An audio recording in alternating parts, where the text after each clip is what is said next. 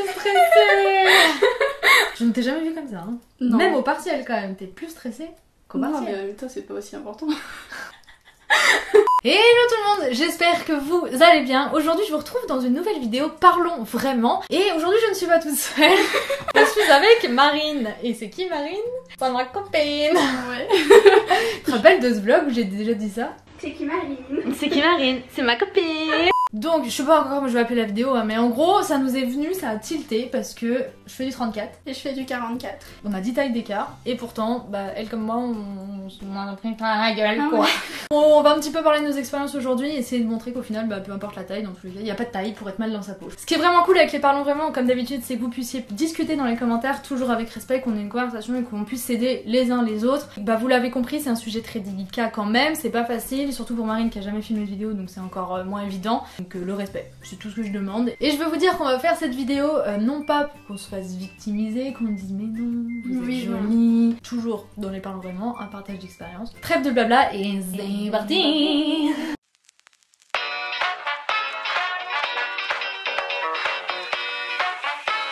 Bon, alors on a essayé de faire plusieurs parties pour que ce soit un peu structuré. Donc du coup, on va commencer par les réflexions qu'on s'est pris au collège, au lycée. On connaît tous ces putains de périodes très gentilles, hein Et je, alors je sais qu'il y en a déjà dans les commentaires qui vont dire ouais tu te plains alors que t'es mince, que t'es fine. Euh, au collège et au lycée, j'étais maigre. Dis-nous tout. J'ai l'impression de faire une interview. Dites-nous, mademoiselle. Euh, et bah, euh, je sais.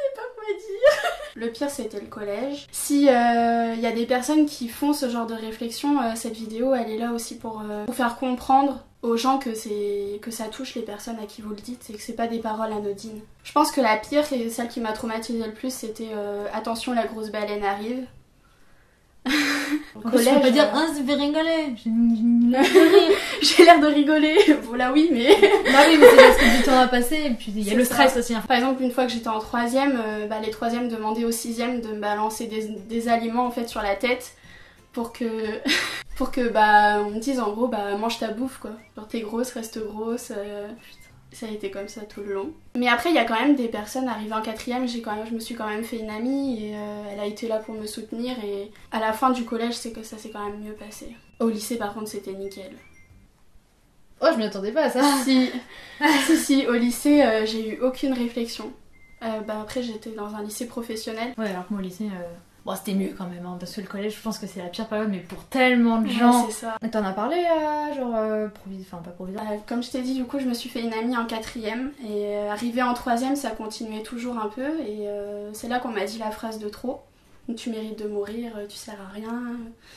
Donc je suis arrivée en pleurs chez moi, etc., etc. Ça a continué comme ça jusqu'à trois mois avant le brevet. Donc cette amie que je me suis faite au co- donc à quatrième, elle a été voir euh, ma professeure principale et elle lui a dit bah Marine euh, ça va pas du tout, là va falloir faire quelque chose parce que je pense qu'elle a, elle a entendu la phrase qu'il fallait pas, la phrase de trop. Et effectivement moi je voulais plus aller au collège, euh, bah, j'en étais venue à penser des choses qu'il fallait pas, des choses dangereuses pour moi.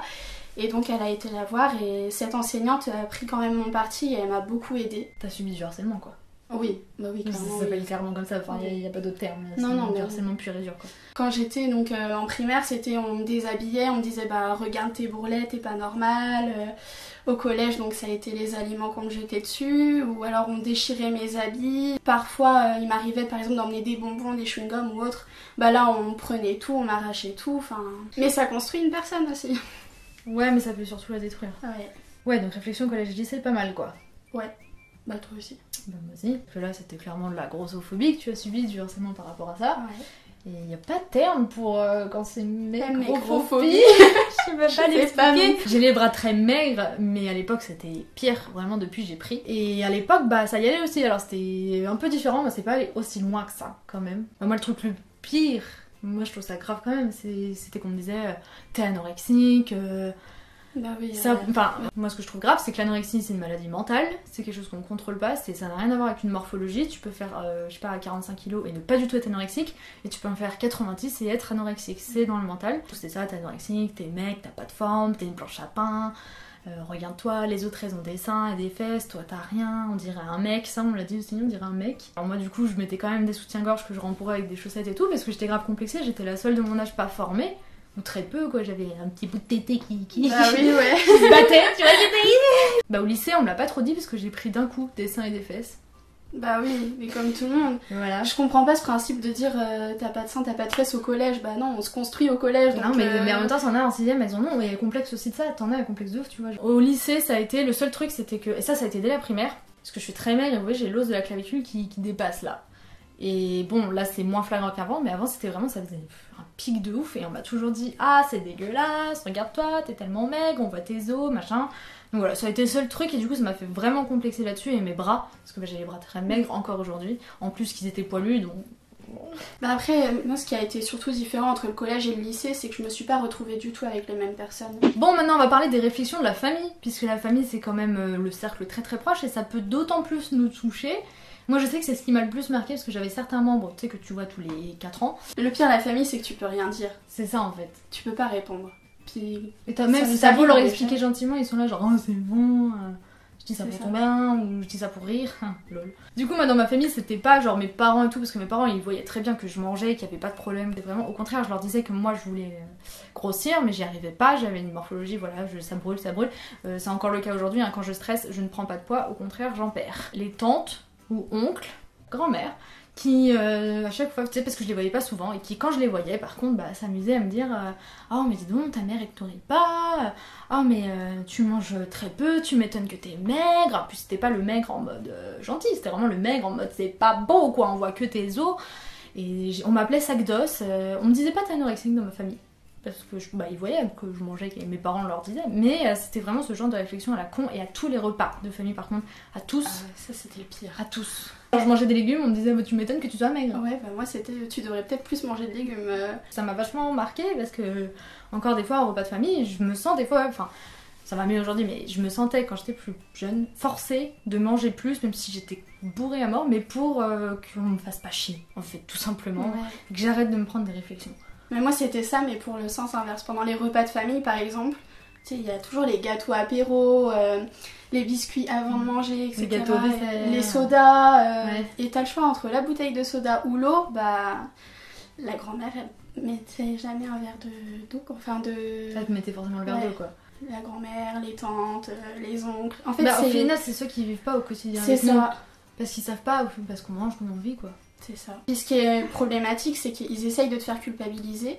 Comme si c'était de ta faute, comme si c'était toi qui choisissais les repas. T'as toujours des, des, des critiques, quoi. De toute façon, ça va être le message de la vidéo, mais au final, 34-44, des critiques, des critiques, des critiques. Ouais. C'est pas les mêmes, mais elles font autant chier aussi mal des vrai. fois, quoi. C'est ça. pas les mêmes, mais ça vient souvent des mêmes personnes, de ça. notre même entourage, enfin de notre entourage euh, en commun, tu vois. Toi, c'est oncle, tante, euh, grand-mère aussi, et puis bah, moi, c'est la même Mhm. chose. Ça a été les mêmes personnes et Ceux qu'on voit pas beaucoup, ou les au collège ou au lycée, quoi, les Ouais. amis. Si jamais vous avez des amis qui osent vous faire ce genre de critiques, genre t'es grosse, t'es baleine, mais c'est pour rire, rigole un peu, ou t'es mec, t'es anorexique, ah ça va, c'est pour rire. Euh, bah c'est pas des amis. ou le pire, c'est mais de toute façon, je dis ça pour t'aider. Ouais, non mais Non, non. mais tu crois que tu en me disant, en me disant ça, je vais perdre du poids? Bah non, en fait. euh, Autre sujet euh, délicat aussi, notre confiance en soi. Bon, notre confiance en soi. c'est déjà une blague, rien que de le dire. Genre jusqu'en, je pense, cinquième, ça allait. Moi, moi j'étais encore naïve, mon corps, bah, je me disais, de toute façon, mes parents me le disaient toujours, t'inquiète pas, ça va changer, tu vas finir par prendre des formes, etc., etc., t'auras tes règles un jour aussi, donc ça viendra.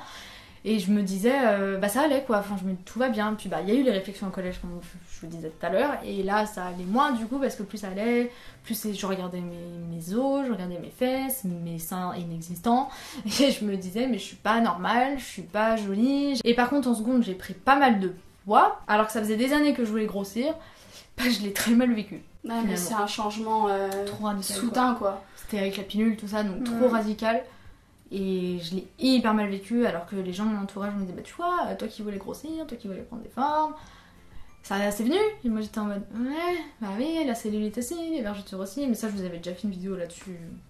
Et aujourd'hui, par contre, euh, voilà, 22 piges, ça commence à aller mieux de ce côté-là, ça commence Parce que ça c'est comme tout, il y a des jours où je suis là, genre, je suis une bombasse, vraiment, il y a des jours où je pense ça, je me dis, c'est clairement aujourd'hui. Ouais, tu te lèves, il fait beau dehors. Putain, je suis trop belle aujourd'hui. Je suis trop belle, je vais aller draguer de la zoulette. Bon, enfin, pas de la zoulette, mais je sais pas draguer de toute façon. Ma confiance en moi, en, en gros, ça allait jusqu'à ce que je me commence à me prendre. Alors là, c'était pas une ou deux réflexions qui allaient me mettre mal, mais c'était plus euh, 10-15 par semaine, quoi. Bah moi ma confiance en moi c'était euh, au plus bas jusqu'à arriver au lycée. En fait c'est c'est bête à dire mais du coup au lycée c'est là que j'ai eu ma première vraie relation amoureuse Mm. et ça donne confiance en soi de savoir qu'on est aimé et que quelqu'un peut nous aimer comme on est donc euh, là ça a été mais avant ça c'était euh, moi je me regardais même pas dans le miroir en fait. Parce qu'il faut savoir aussi que quand on est costaud on a du mal à trouver des habits qui soient à notre taille, qui nous vont. euh, au niveau de notre morphologie, etc. Et donc, euh, ben, on a tendance à plus soit aller vers, euh, vers les grandes tailles, mais avant, c'était pas aussi démocratisé, on n'en voyait pas autant. Et encore plus pour les enfants. Encore aujourd'hui, quand tu vas dans les boutiques, tu vois, genre lambda, Mm. tu galères quand même. Ah Oui, bah oui. On hésitait aussi à faire un jeu test vraiment justement spécial grande taille, Mm. euh, puisque bah c'est pour être cool, je me dis, pour parce qu'on me fait souvent le, le reproche entre guillemets, mais c'est pas ma faute, mais vu que je fais du 34, les sites que je teste, bah ça correspond qu'aux tailles euh, classiques, j'ai envie de dire. Mais c'est ça qui est fou, c'est que la taille moyenne chez la femme c'est 42, si je me trompe pas, 40-42, ouais. et pourtant on galère à trouver au-dessus de 42, 44 quoi. Ouais.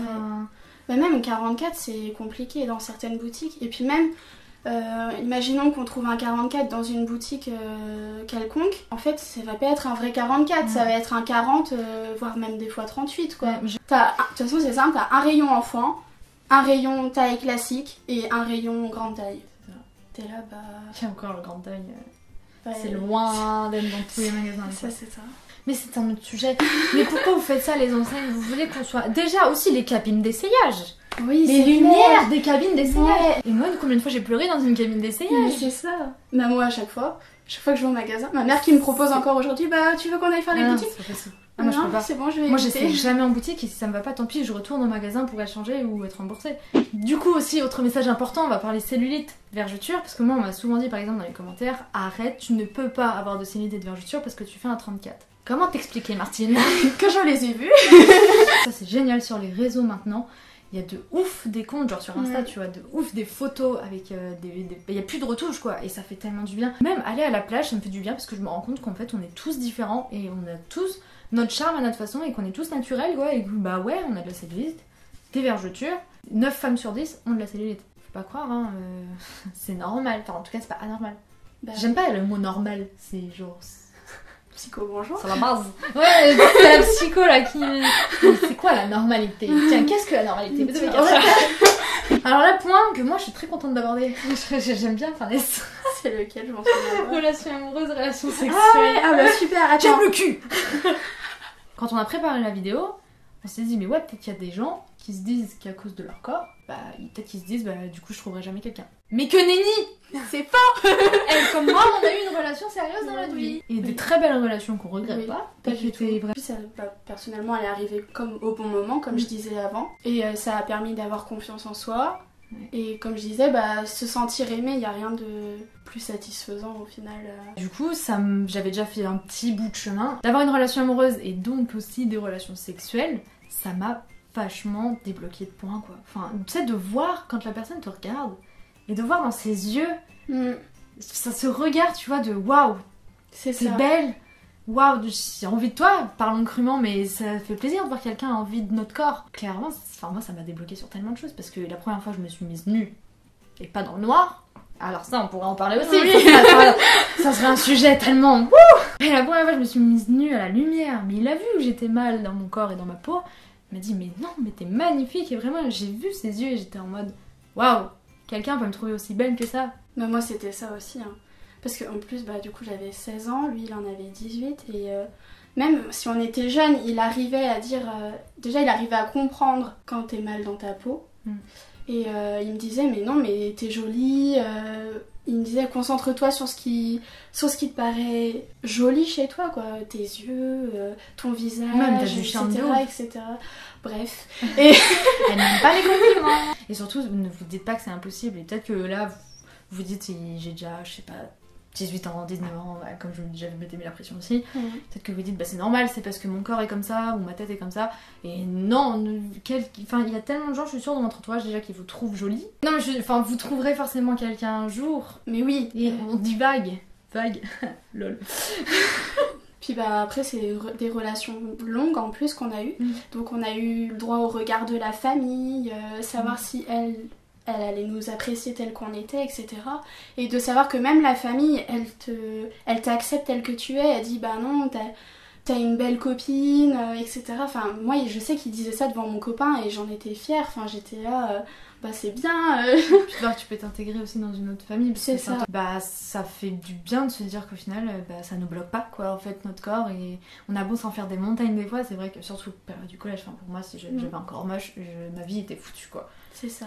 Allô quoi. Enfin, Surtout que bah moi, en plus, c'était particulier parce que c'était des... ils étaient tous sportifs dans leur famille. Mm. Et pourtant, ils étaient tous là à dire euh, Mais non, mais t'es jolie telle que tu es, euh, te prends pas la tête, l'important c'est c'est que tu l'aimes, qu'il t'aime, Mm. Etc., etc. Enfin, faut pas se bloquer par rapport à ça, vous trouverez toujours quelqu'un qui vous acceptera tel que vous trouvez êtes. chaussures à votre pied. C'est ça. Alors si nos fronts brisent, normal.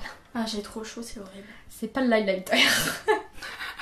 Bref, le message super important, surtout qu'on voulait faire passer dans cette vidéo, et que bah On complexe tout le on a été très mal dans notre peau, toi comme moi. Mhm. De plus en plus les, en avant les femmes qu'on déforme, etc. Et je trouve Mhm. ça mais génial. Heureusement ça change, Ouais. heureusement. Mais je me suis pour ça aussi que je voulais donner mon expérience, mais surtout la tienne quoi au final parce que bah Faut accepter tout le monde et faut pas accepter euh, juste tel type de personne. c'est ça. En fait, tout- enfin, tous les corps déjà sont différents parce que tu peux avoir deux personnes qui font le même poids, la même taille, et au final, bah, ils ont pas du tout le même corps. C'est ça. La morphologie et tout. tu- Ça dépend de plein de Tu peux choses. pas tout contrôler quoi. Et aussi dire que si on est maigre ou si on est grosse, bah ça c'est pas de notre faute. Ça dépend de notre métabolisme, de notre, notre morpho. Enfin, Mm. je sais que moi dans ma famille on est tous très fins, voire maigres. Ma mère a, a les bras aussi maigres que moi et c'est de famille, mon frère est pareil. Mm. Alors qu'on mange très très bien. Même si euh, vous complexez, etc., et que vous avez envie de changer, faut le faire pour vous et pas pour, euh, pour d'autres personnes de votre entourage. Parce que nous, on a décidé de nous accepter tel qu'on est, mais il y a d'autres personnes qui peuvent aussi euh, décider de changer. Mm. Et c'est pas forcément mal non plus si c'est leur choix, mais il faut le faire pour, euh, pour soi et pas pour les personnes de son entourage. Et pour sa santé aussi, parce que oui, il y C'est a des ça. personnes des fois qui sont en surpoids ou qui sont au contraire en sous-poids et ça peut être dangereux pour leur santé. C'est ça. Cette vidéo, je ne sais pas combien de temps elle va faire après montage, hein, comme d'habitude, hein, elle risque d'être un petit peu longue, mais je pense qu'en plus on est obligé d'aborder plein de points qu'on va se dire après, on aurait dû parler de ça, on aurait dû parler de ça. Ouais. Même dans les commentaires, n'hésitez pas à parler librement de tout ça, même si c'est pas forcément évident. J'ai envie sur cette chaîne maintenant de... Mais oui, là c'est le Je sais pas principal. de- Depuis qu'elle est de retour, euh, c'est tout sur les complexes, tout sur euh, il faut s'accepter, Pas tout, tout. sur, euh, Je parle encore de, de trucs... Oui. euh, voilà. Oui, mais bon, tu fais quand même plus de parlons vraiment. Ouais, mais ça euh, me plaît, tu vois. Avant, j'avais, je sais pas, j'avais cette peur de franchir le cap. Maintenant, je me dis, par les couilles Puis on voit que ça sert à d'autres personnes. Bah, c'est ça, ça, ça fait tellement plaisir quand je lis vos commentaires ou vos messages privés. Bon, bah voilà tout le monde. On espère que cette petite vidéo vous aura plu. Ça a été pas très évident à filmer, mais c'est important. En attendant la prochaine vidéo, on vous fait à tous et à toutes de très, très gros bisous